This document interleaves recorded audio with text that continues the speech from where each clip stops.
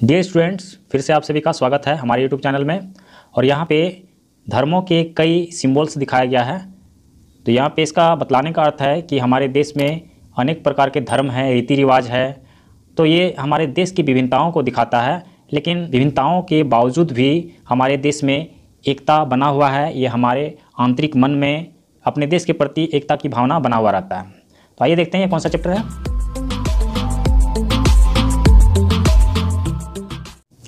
ये class five का SST book है और ये चैप्टर है ट्वेल्व। और इस चैप्टर का नाम है राष्ट्रीय एकता। तो राष्ट्रीय एकता, देश की एकता की बात कर रहा है यहाँ पे। तो इसको हम लोग संक्षिप्त में पढ़ेंगे इस चैप्टर को और फिर इसके क्वेश्चन आंसर को सॉल्व करेंगे। तो आइए इसको पढ़ते हैं।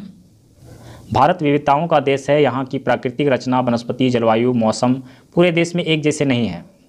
उत्तर में पर्वत है तो दक्षिण में सागर, कहीं बर्फीली सर्दी है तो कहीं अत्यधिक गर्मी। इस तरह के हमारे देश में प्राकृतिक विभिन्नता है। प्रकृति ने हमारे देश को जो बनाया है, उसमें भी कई प्रकार की विभिन्नताएँ हैं। और इसमें छह ऋतुएँ बतलाया गया है कि यहाँ पे छह ऋतुएँ हैं।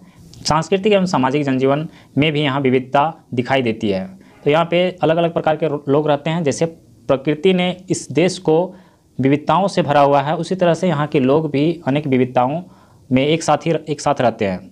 यहाँ पे अलग अलग रीति रिवाज है, उत्सव, पर्व, परंपराएँ सब अलग अलग है, लेकिन फिर भी वे जो है एक ही वातावरण में रहते हैं और एक सब, एक दूसरे से मिलकर रहते हैं। यह सब मिलकर एक सुंदर बगीचे के समान दिखाई देते हैं, जिसमें अनेक प्रकार के रंग बिरंगे फूल खिलते हैं और उनसे ही बगीचे की शोभा बढ़ती है। हमारा देश को यहाँ पे एक बगीचे की तरह बतलाया गया है तो बगीचे में अगर एक तरह का ही फूल रहे तो वह उतना सुंदर नहीं लगेगा। अलग अलग तरह के अगर फूल रहेंगे तो ज़्यादा सुंदर लगेगा। उसी तरह से हमारे देश में अलग अलग प्रकार के लोग रहते हैं अलग अलग धर्मों को, मान्यताओं को मानने वाले लोग रहते हैं। हमारे देश में अलग अलग दिखाई देने पर भी एक सांस्कृतिक, सामाजिक एकता की भावना विद्यमान है, जो देश की एकता व अखंडता पर संकट आने के समय प्रकट होती हुई दिखाई देती है। और यह एकता जो है, जब देश में कभी अत्यधिक संकट आता है, देश संकट से घिर जाता है, तब वह एकता जो है हमें दिखाई पड़ने लगता है। फिर यहाँ पे धर्म के बारे में बताया गया है। हमारे देश में कई प्रकार के धर्म हैं और सभी धर्म हमें एक ही तरह की बातें सिखाते हैं। संसार के सभी धर्म आपस में प्रेम भाव से रहना, दूसरों को कष्ट ना पहुंचाना, अच्छे गुणों का विकास अच्छा व्यवहार करना ही सिखाते हैं। तो धर्म का, सभी धर्म का एक ही काम है, एक ही चीज़ सिखाता है, लेकिन फिर भी हम लोग अलग अलग धर्मों को मानते हैं। तो धर्म का अर्थ यही है, दूसरों को कष्ट दिए बिना अपने कर्तव्य का पालन करना। तो मुख्य रूप से धर्म का धर्म का मतलब यही है। इसके बाद संस्कृति का यहाँ पे बतलाया जा रहा है। यहाँ के रीति रिवाज परंपराएँ अलग अलग दिखने पर भी उनमें एक सांस्कृतिक एकता दिखाई पड़ती है। तो अलग अलग ऐसा महसूस होता है, अलग अलग तो है, लेकिन फिर भी सांस्कृतिक एकता जो है, वह एक ही है। प्रचलित रीति रिवाज परंपराएँ, उसी भारतीय संस्कृति के अंग हैं। तो वैसे जो है, एक कहा जाता है वसुधैव कुटुंबकम इसका मतलब होता है कि सारा विश्व हमारा परिवार है। और यही भावना भारतीय संस्कृति की विशेषता है, यही भावना हमारी एकता का आधार है। तो इसको हम लोग लेकर चलते हैं। पूरे परिवार, पूरे विश्व को हम एक परिवार मानते हैं। उत्सव एवं पर्व की बातें कर रहा है। तो जो हम त्यौहार मनाते हैं, उसे ही उत्सव पर्व कहा जाता है। तो यहाँ अनेक प्रकार के पर्व मनाए जाते हैं। राष्ट्रीय स्तर पर होली, दिवाली, दशहरा, ये सब पूरे देश में मनाया जाता है, इसलिए यहाँ पे राष्ट्रीय स्तर लिखा हुआ है। इसके अलावा छोटे छोटे त्यौहार जो है, क्षेत्रीय स्तर पर भी मनाया जाता है। और क्रिसमस, ईद आदि त्यौहार सारे देश में लोग मिलजुल कर मनाते हैं। और यहाँ पे 26 जनवरी 15 अगस्त 2 अक्टूबर का उत्सव राष्ट्रीय स्तर पर मनाया जाता है। मतलब ये हमारे राष्ट्रीय त्यौहार हैं। उसके बाद यहाँ मेले के बारे में बतलाया हुआ है।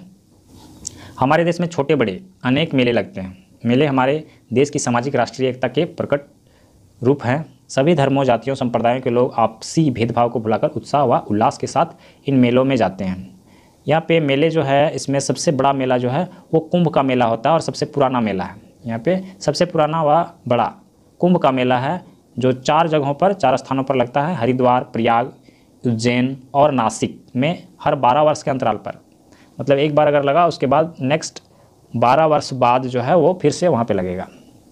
लाखों लोग देश के कोने कोने से अनेक कष्ट सहकर भी आते हैं। और इसके अलावा और भी कुछ मेला जहाँ पे लगता है, ज़्यादा भीड़ होता है। नौचंदी, सोनपुर देवाशरीफ इस तरह के कई नाम दिए हुए हैं। तो यहाँ पे भी लोग बड़ी संख्या में पहुँचते हैं। तीर्थ स्थान तीर्थ स्थान हमारे देश में कई जगह हैं और वहाँ पे लोग जाते हैं और सुख शांति का अनुभव करते हैं। जगत गुरु शंकराचार्य द्वारा देश की चारों दिशाओं में 1200 वर्ष पूर्व स्थापित चार धाम उत्तर में बद्रीनाथ, दक्षिण में रामेश्वरम, पूर्व में जगन्नाथपुरी तथा पश्चिम में द्वारकापुरी राष्ट्रीय एकता के ही प्रतीक है। तो चार धाम दिया गया है और उसके नाम भी दिए गए हैं। तो यहाँ पे इसको आप याद रख सकते हैं। सारे देश में फैले विभिन्न संप्रदायों के तीर्थ स्थानों मंदिरों, मठों, दरगाहों में दूर दूर से लोग वर्ष भर जाते रहते हैं। इसके अलावा कई सारे तीर्थ स्थान हैं, अमृतसर, हरिद्वार, प्रयाग बोधिया इस तरह के कई सारे नाम हैं।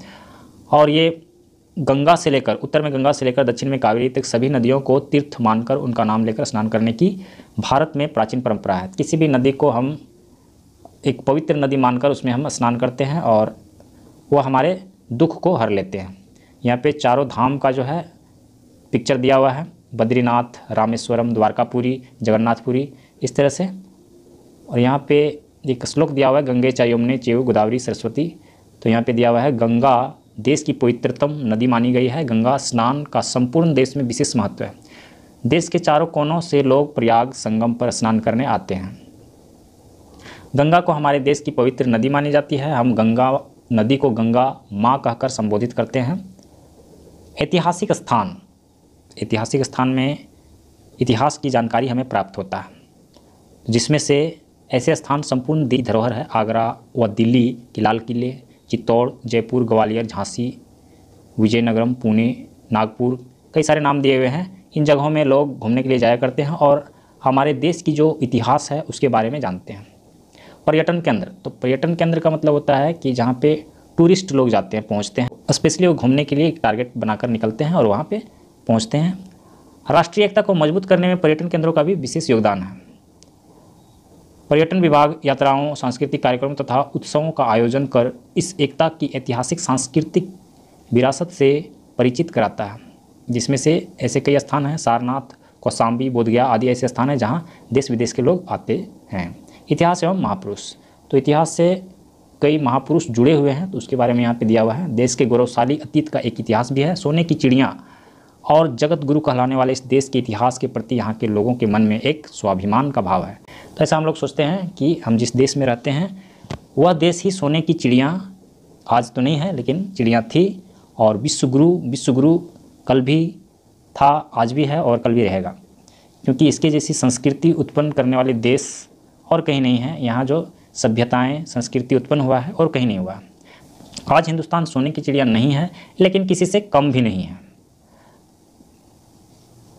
विदेशी आक्रमणों के विरुद्ध सभी लोगों ने मिलकर संघर्ष किया वे लोग जो आक्रमणकारी के रूप में आए थे, वे भी यहीं के समाज में घुल मिल गए। तो पहले भी मैंने इस बात को कहा है कि भारतीय ग्रंथों को अगर कोई पढ़ ले तो फिर वो हिंदुस्तान से जा नहीं पाता है। इसी के समाज में, इसी के रीति रिवाज में घुलकर हिंदुस्तानी बन जाता है, यहीं रह जाता है। तो वही चीज़ यहाँ भी बतलाया गया है। बहुत सारे लोग, आक्रमणकारी लोग यहाँ पे आए, मुग़ल यहाँ पे आए थे और फिर वो गए कहीं नहीं। वो हिंदुस्तानी बनकर ही रह गए, यहीं पे रह गए। मुगल साम्राज्य हालाँकि 800 वर्षों के बाद समाप्त हो गया था। लेकिन ऐसा कुछ नहीं हुआ कि उन लोगों ने यहाँ से यहाँ के धन को लूट कर ले गया अंग्रेज़ तो यहाँ से इंग्लैंड ले गए थे, लेकिन उन लोगों ने ऐसा नहीं किया।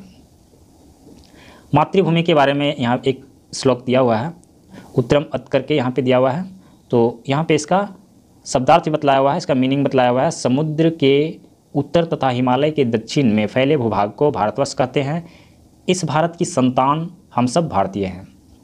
तो हम लोग जो है, इस देश में रहते हैं, इसीलिए हम लोग भारतीय हैं।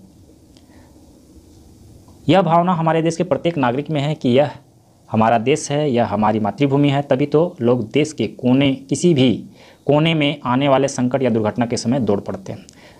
कई बार आप लोगों ने देखा होगा, आप लोगों ने महसूस किया होगा, जब कहीं भूकंप आ जाता है, सुनामी आ जाता है तो पूरे देश भर से लोग चंदा इकट्ठा करते हैं और उस जगह पे जहाँ पे लोगों को प्राकृतिक आपदा को झेलना पड़ रहा है। उन लोगों को देते हैं, उन्हें खाना पहुंचाते हैं। बहुत तरह की जितनी भी मदद दिया जा सकता है, वो सारे लोग करते हैं। सभी लोग वहाँ जा नहीं पाते, लेकिन कुछ ना कुछ चंदा ज़रूर देते हैं। तो इस तरह से हम देखते हैं कि ज़रूरत पड़ने पर सारा देश एक हो जाता है। हमारे सैनिक देश की रक्षा के लिए सीमाओं पर अत्यधिक कष्ट सहकर भी डटे रहते हैं। तो सामान्य जनता उनकी सहायता कर, उनका विश्वास बढ़ाती है। इस देश की आंतरिक एकता ही है जो यह सब कार्य करती है। यह एकता बहुत पुरानी है, देश की भूमि के प्रति यह मातृभाव ही हमें, हम सब में भाईचारा बढ़ाने में सहायक होता है। तो हमारे देश में जो सैनिक डटे रहते हैं, वो कितने कष्ट सहकर वहाँ पे डटे रहते हैं, हम उसे समझ नहीं सकते, उसे महसूस नहीं कर सकते, क्योंकि वो हमारे साथ तो नहीं बीतता है। जिसके साथ बीत रहा है, वो जान रहा है। लेकिन हम अपना कर्तव्य निभाते हैं कि हम उनके विश्वास को बढ़ाने के लिए वैसे कार्य करते हैं, जिससे कि उनका मनोबल बढ़े और देश के प्रति उनका भक्ति भाव बना रहता है। हम अपने देश के प्रति अपना भक्ति भाव बनाए रखते हैं और ऐसी ही एकता जो है हमारे देश में एक दूसरे का आत्मविश्वास बढ़ाता है और हमारे देश को मज़बूत बनाता है। यहाँ पे इस चैप्टर का अंतिम लाइन दिया हुआ है। इस प्रकार देश की एकता को प्रकट करने वाली उपयुक्त बातों से ही एकता और मज़बूत हो सकती है, कुछ लोग अपने स्वार्थ के कारण कभी कभी इस एकता को समाप्त करने का प्रयास करते रहते हैं। हमें उनसे सावधान रहकर देश के सभी धर्मों, संप्रदायों, जातियों, बोलियों वाले लोगों में आपसी प्रेम, भाईचारा तथा आत्मीयता का विकास करने का प्रयास करना चाहिए। कई बार ऐसा होता है, कुछ लोग गलत भावनाएँ रखते हैं, कुछ गलत चीज़ें ऐसा कुछ करते हैं जो देश के प्रति हितकर नहीं होता। है तो वैसे लोगों से हमें सावधान रहना चाहिए और वे लोग अगर पकड़ में आए तो हमें उन्हें पुलिस के हवाले, कानून के हवाले कर देना चाहिए। तो यहाँ पे यह चैप्टर समाप्त हो जाता है और इसमें क्वेश्चन दिया हुआ है। वन नंबर में निम्नलिखित प्रश्नों के उत्तर लिखिए। यहाँ पे पाँच क्वेश्चन दिया हुआ है। इसके अलावा क्वेश्चन नंबर टू में फाट से छाँट कर लिखिए। स्थानों के नाम। तीन तीर्थ स्थानों के नाम, तीन ऐतिहासिक स्थान, तीन मेलों के नाम, तीन धामों के नाम। इस तरह से यहाँ पे नाम लिखने के लिए कहा गया है। क्वेश्चन नंबर टू में कुछ लिखा हुआ है, लेकिन फिर भी मैं आपको इसका आंसर दे दूँगा क्योंकि यहाँ यह पूरा बना हुआ नहीं है। क्वेश्चन नंबर थ्री को आप यहाँ पे ध्यान से देख लें। मैं इसका आंसर यहाँ पे ही बतला देता हूँ और यहाँ पे लगा हुआ भी है और ये सही है। ऐतिहासिक स्थानों पर जाने पर तो ऐतिहासिक स्थान पर जाने पर क्या होता है? इतिहास की जानकारी मिलती है। क नंबर का हो गया द नंबर। यहाँ पे क से द हो गया और ख नंबर में पर्यटन केंद्रों पर जाने पर प्राकृतिक, सांस्कृतिक विरासत से परिचित होते हैं। अ नंबर हो गया, ये ख नंबर का और तीर्थ स्थानों की यात्रा से शांति मिलती है। ये हो गया ग नंबर और मेलों में जाने से दूर दूर के लोग मिलते हैं। ये घर नंबर का हो गया स में और क्वेश्चन नंबर फोर इसका भी आंसर जो है संक्षिप्त में मांगा गया है मतलब यहाँ पे कुछ सिर्फ़ नाम बतलाना है। तो आइए मैं आप लोगों को इसका आंसर बना के देता हूँ। ये चैप्टर ट्वेल्व का क्वेश्चन आंसर है। क्वेश्चन नंबर वन में निम्नलिखित प्रश्नों के उत्तर लिखिए। हमारे देश की भौगोलिक विविधताएँ कौन कौन सी हैं? हमारा देश विविधताओं का देश है। वर्ष में यहाँ छः ऋतुएँ होती है। यहाँ की प्राकृतिक रचना, वनस्पति, जलवायु, मौसम पूरे देश में अलग अलग है। उत्तर में पर्वत है तो दक्षिण में सागर। कहीं बर्फीली सर्दी है तो कहीं अत्यधिक गर्मी।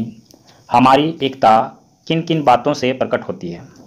हमारे देश में अलग अलग दिखाई देने पर भी एक सांस्कृतिक, सामाजिक एकता की भावना विद्यमान है, जो देश की एकता व अखंडता पर संकट आने के समय प्रबल रूप में प्रकट होती है। संस्कृति एवं इतिहास से एकता कैसे स्थापित हुई है? देश में प्रचलित रीति रिवाज परंपराएँ भारतीय संस्कृति के ही अंग हैं। भारतीय संस्कृति पूरे विश्व को एक परिवार मानती है। देश के ऐतिहासिक स्थान में जाकर लोग अपने इतिहास को जानते हैं और देश के प्रति उनका स्वाभिमान जागृत होता है। उत्तरम वाले श्लोक का भावार्थ लिखिए। इस श्लोक का भावार्थ है, समुद्र के उत्तर तथा हिमालय के दक्षिण में फैले भूभाग को भारतवर्ष कहते हैं। हम सब भारतीय, भारत माँ की संतान हैं। राष्ट्रीय एकता को कैसे मज़बूत किया जा सकता है? राष्ट्रीयता की भावना प्रत्येक नागरिक में होनी चाहिए। यह हमारा देश है, यह हमारी मातृभूमि है। देश के प्रति यह मातृभाव ही हम सब में भाईचारा बढ़ाता है। इस प्रकार की एकता को प्रकट करने वाली बातें राष्ट्रीय एकता को और मज़बूत करती है। Question number three. स्थानों के नाम पाठ से छांट कर लिखिए। तीन तीर्थ स्थान अमृतसर, बोधगया, तिरुपति। तीन ऐतिहासिक स्थान, आगरा, दिल्ली, जयपुर। तीन मेलों के नाम, नौचंदी, सोनपुर देवा शरीफ तीन धामों के नाम, Badrinath, Rameswaram, Jagannathpuri. Question number four में निम्नलिखित प्रश्नों के उत्तर संक्षेप में लिखिए तो यहाँ पे मैंने डायरेक्ट इसका आंसर दिया हुआ है। आप इसका क्वेश्चन बुक से देख सकते हैं। तो यहाँ पे यह चैप्टर पूरी तरह समाप्त हो जाता है। अगर आप लोगों को हमारे वीडियो से थोड़ा भी मदद मिलता है तो आप हमारे इस वीडियो को एक लाइक ज़रूर कीजिए और इसी तरह का और वीडियो पाने के लिए हमारे चैनल को सब्सक्राइब कीजिए, अपने दोस्तों के साथ शेयर कीजिए और अगले चैप्टर को पढ़ने के लिए हम लोग नेक्स्ट वीडियो में चलेंगे। तो आइए हम लोग नेक्स्ट वीडियो में चलते हैं।